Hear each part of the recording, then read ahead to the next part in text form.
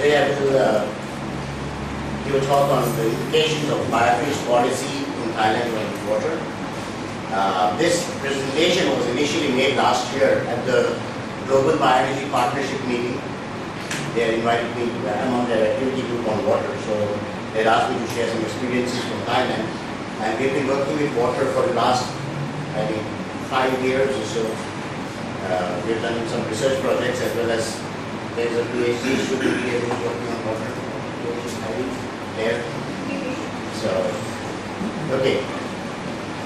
So, as all of you are probably aware already that uh, by the Thai government has pretty aggressive targets of, on biofuels and very dynamic too, I must say. So, the caveat is that the numbers presented here were from the time I made the presentation. They might have changed a bit, but the general idea remains still the same. So if you look at the ethanol demand, that's about 9 million liters per day by uh, 2021. So I think in 2012 or 13 we had about 3 million liters per day. And for the biodiesel demand it's about 6 million liters per day. And then there are other biofuels, alternatives to diesel, etc., which we will not uh, consider today because my talk is focused only on ethanol and biodiesel. So you know that biofuels have been promoted with a view to using local resources, reduce uh, uh, dependence on external uh, fuel feedstocks, uh, save some uh, import, the foreign exchange, and also uh, to reduce greenhouse gas emissions. So in all this talk about greenhouse gas emissions, somehow I think water was kind of sidelined a bit. And water is a very, very important resource. We have enough water in the world. Even if you talk about fresh water, we have enough fresh water in the world. So that is not the problem. The quantity is not the problem. But the availability is a problem because it is not equitably distributed. We don't have it where we need it necessarily and when we need it. So the time and space factor is actually very, very important vis-a-vis water. Even though in quantity wise we have enough. So uh, what we did in this particular project was to look at the so-called crop water requirement. So I've given you the equations over there, but let's not get lost in equations. Basically, crops require water because they evapotranspire, evaporation and transpiration.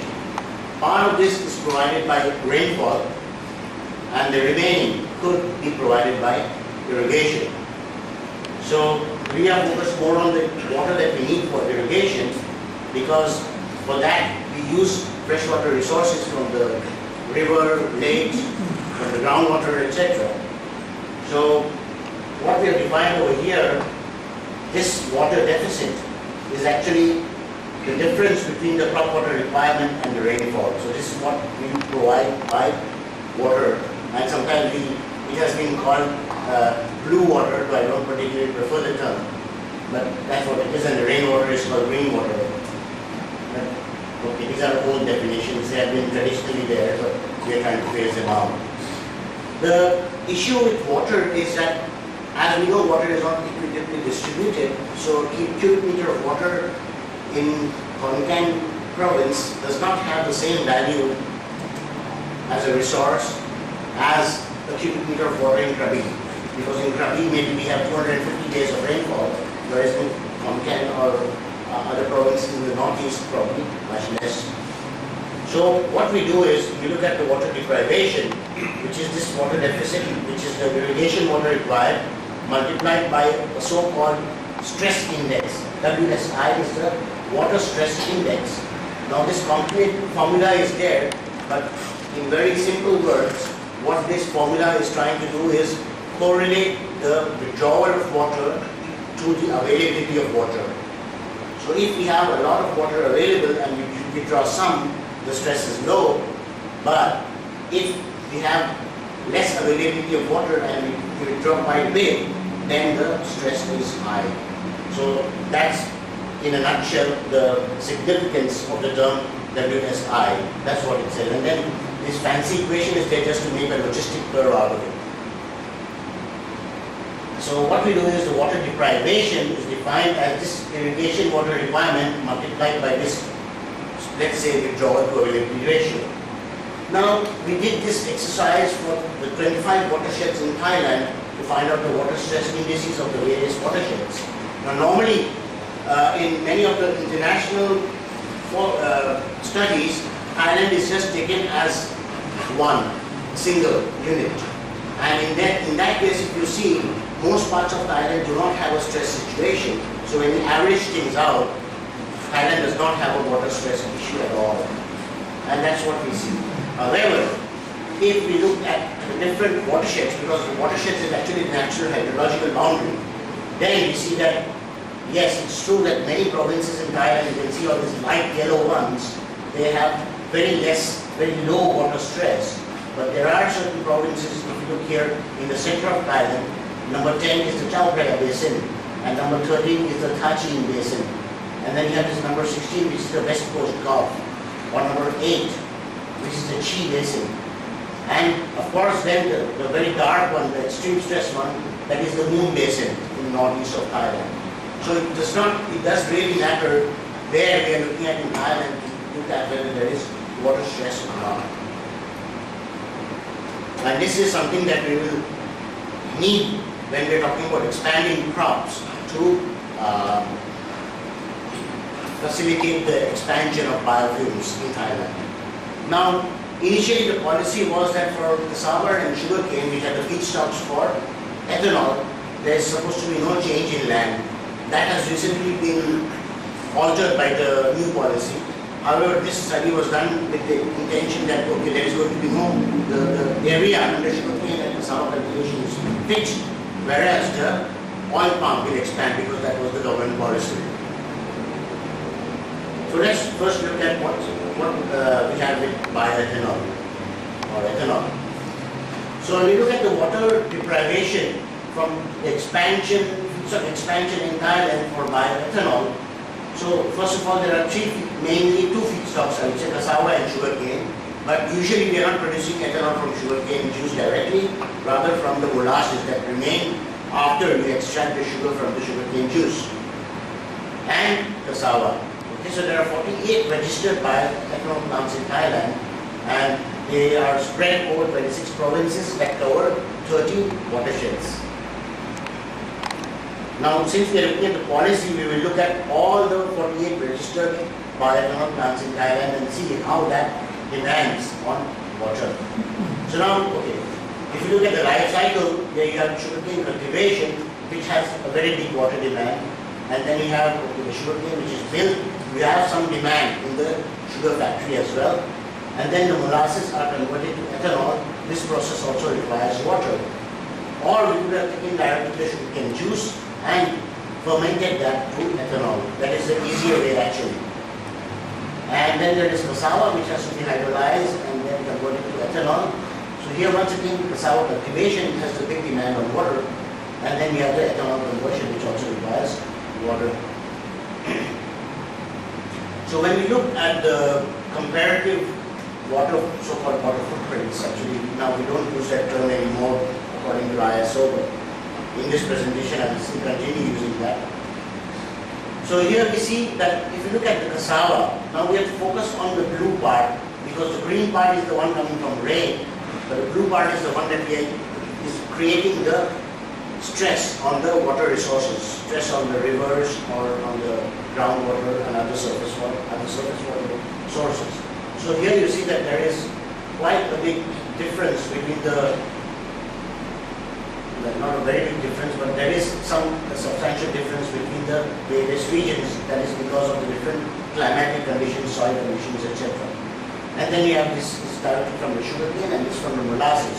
So you see that the molasses has actually the biggest demand in terms of water. So you have about six, 600, uh, 700 liters of water per liter of bioethanol as compared to about 500 for cassava and 520 30 for cassava and 490 for sugarcane. However, when you look at this particular graph, to see which parts of the life cycle have the biggest demand on the water, then you see that about 97 to 98 percent of the water demand is coming from cultivation, as we would expect. So that is the area where, where we have to focus if we have to conserve water resources. So now, when we look at these various situations now, we look at two scenarios. One is the policy mandate scenario where we say that okay by 2021 we will have the 9 million liters of uh, ethanol per day. Now this is below the capacity, actual capacity of the plant. So we made another scenario which is the full production capacity scenario where we assume that the plants will operate according, if they were to operate according to their full capacity, how much uh, water would be required.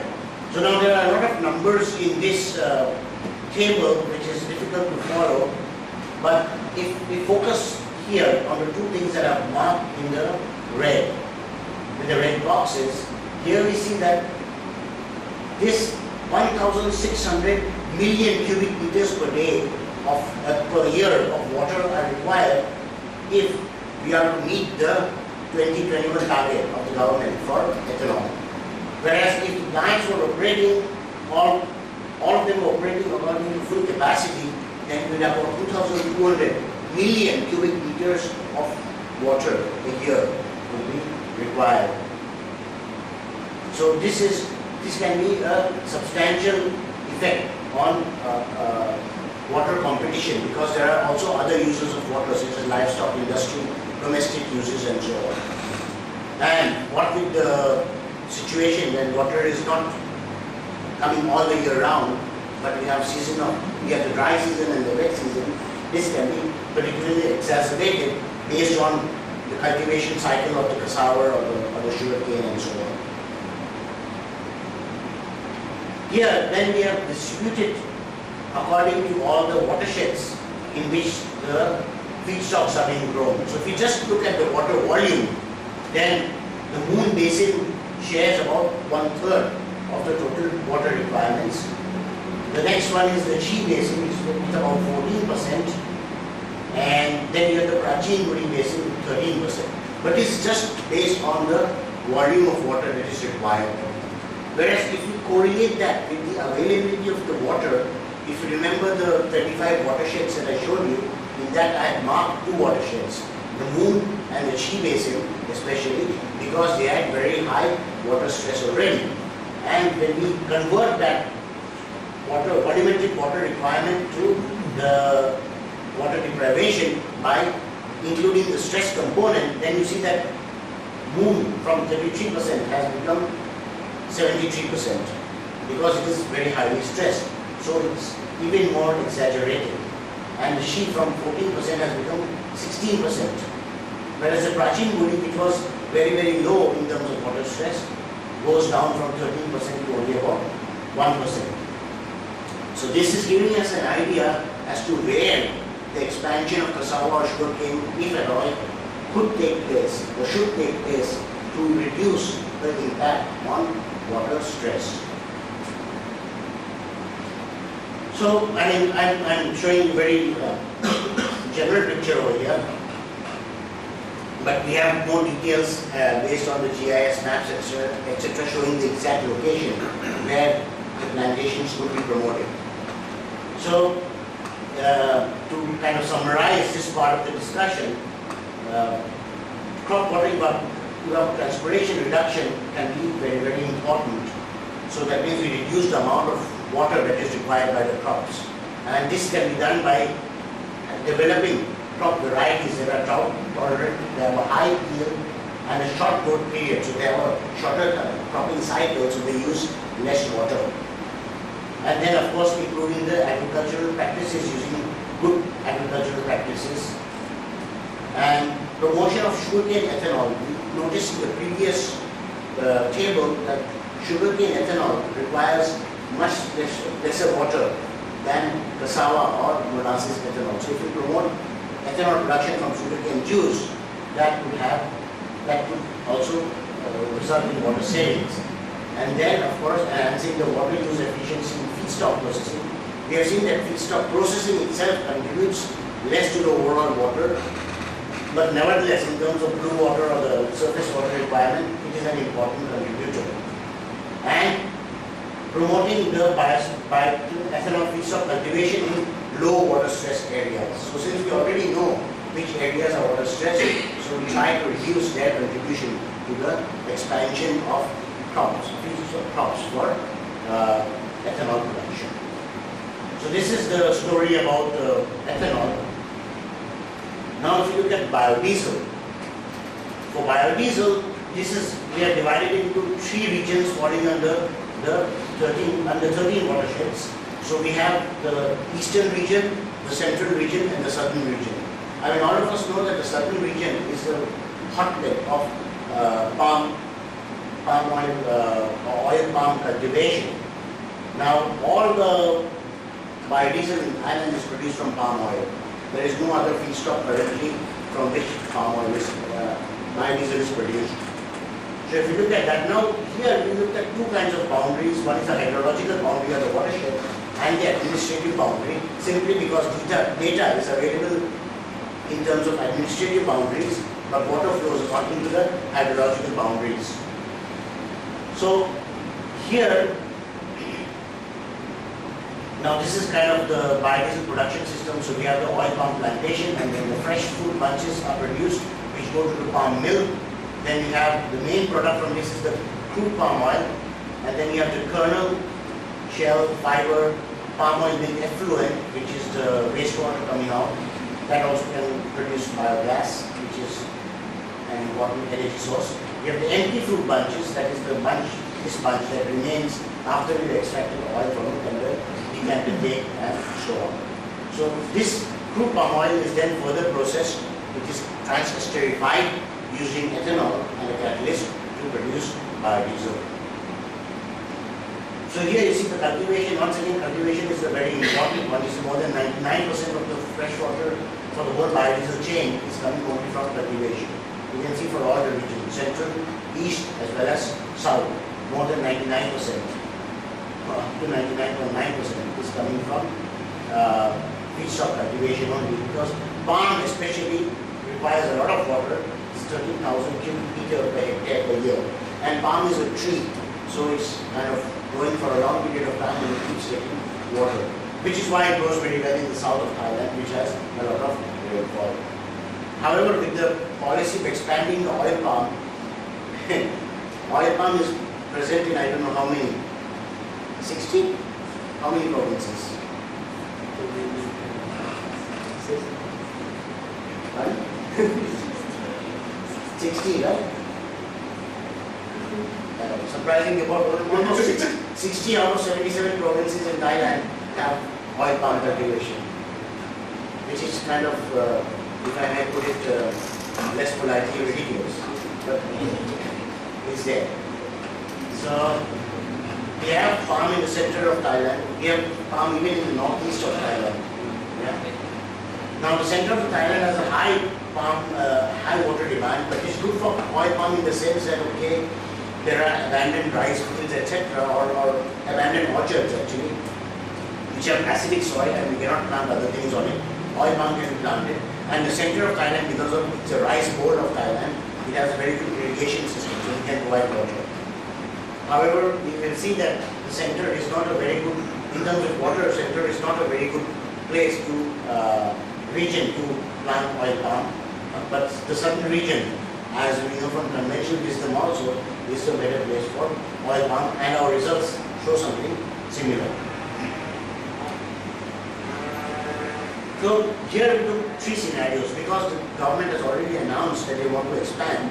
We said, let's assume that all the expanded oil palm areas are in the east of Thailand or all of them in the center of Thailand or all of them in the south of Thailand.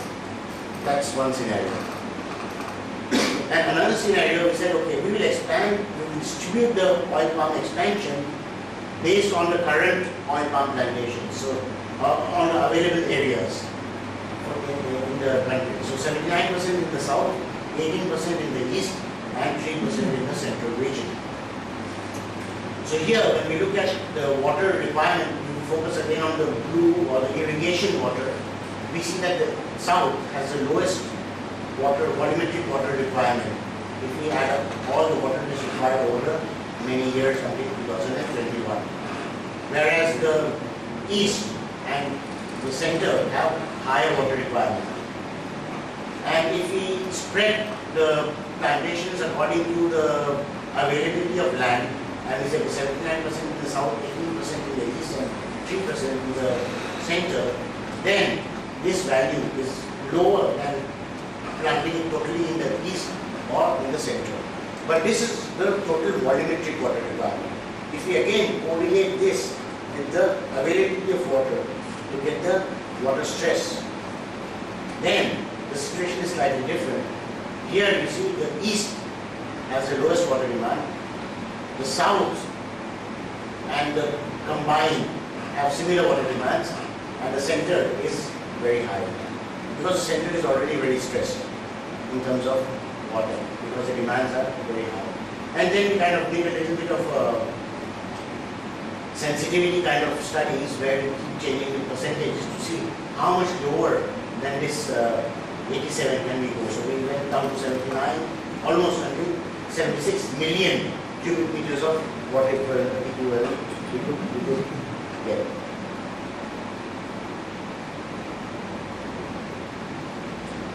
So, what are the recommendations that come out from this study now?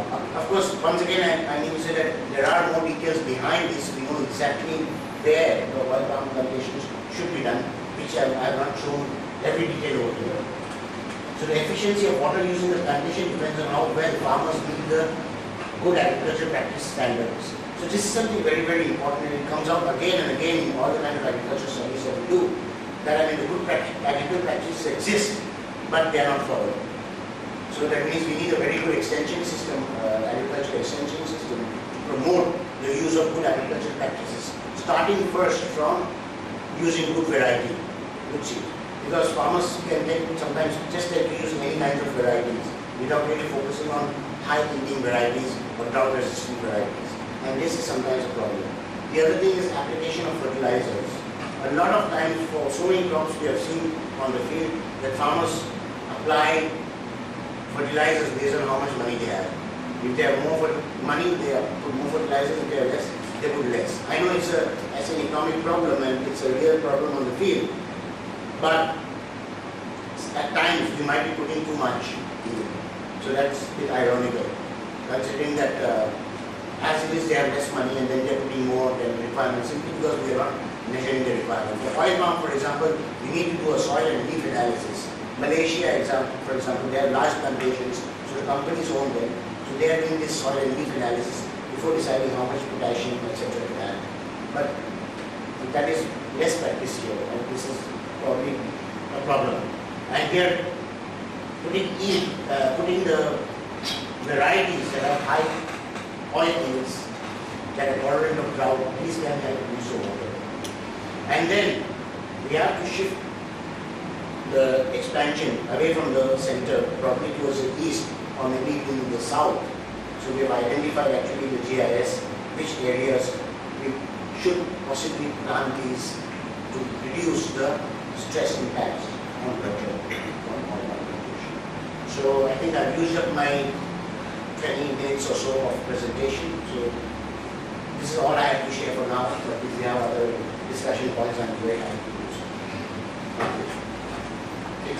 you, Dan Shabbir. So if anyone have any comments or point um, to share related to or any discussion, please. Yeah.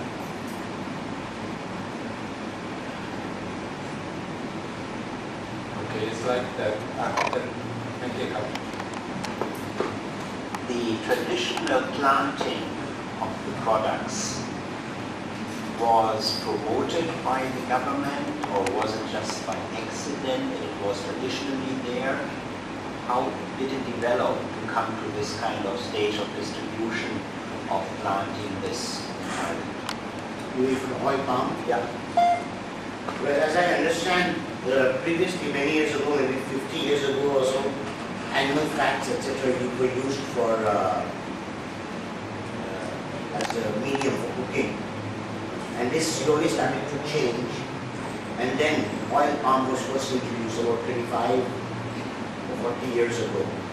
And since the south was very congenial to oil palm, they were planted over there. The, for biodiesel, this has come much later, so the last 10, 10 15 years or so.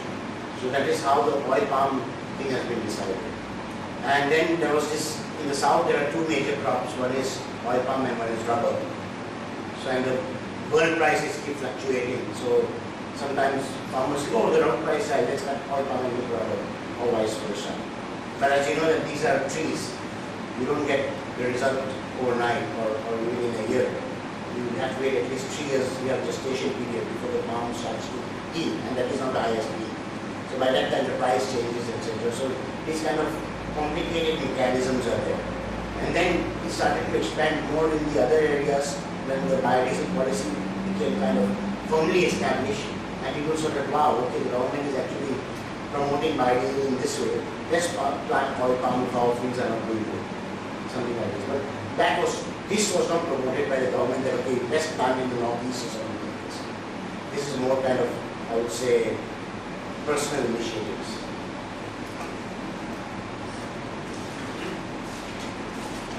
Earlier you show the um, WSI, what is that, water stress. Index. Yeah. And it seems that in the south of northeast, the southern part of northeast is quite High. extreme. Yes. It is that because, you said it's because the, uh, it's the relatives between water availability and the amount of water withdrawal. That's right. So it's because of water availability is less or you have, you use more water in that area? Uh, that's, that's a relative question. that's a relative question. I think it's a little bit of both. It's a little bit of both. There's a lot of rice grown, which has quite high optimum. And then, you know that in the, in the, in that area, there is a very distinct dry season. But still agriculture is there, even in that season. That is my, my area, my hometown. You, you can, you can tell me better. But that, that part of the east, northeast is relatively have the more precipitation than, than other areas. Other areas. Yes. But it's cassava planting area, very, very intensive uh, cassava cultivation. And, and because you asked this question, I think we should also mention that what we did in the first pass was kind of an annual average kind of study, which is not reflecting the true situation also in a way. So now actually we have just finished another study where we are looking at the water stress index not for the whole year, but for every month or for the seasons, for wet season and dry season. And the results are very, very astounding. They change quite, quite a lot from the annual study. Okay, so because you also use the KC, KC also varies Yes. very much on, on a, day, a daily basis or a seasonal cultivation. I mean, that, for example, in the, um, during certain stages of plant growth, the KC would be very high and other would be very low. So if you could like consider this in more detail, I think it would be very, very um, targeted to, to the um, user labor, labor. Thank you very much. Yes, that's a very important point. The, the whole idea behind this monthly kind of study is to kind of match the crops cultivation cycle with the water availability to reduce the stress situation. Yeah, absolutely correct. Okay, any other comments or?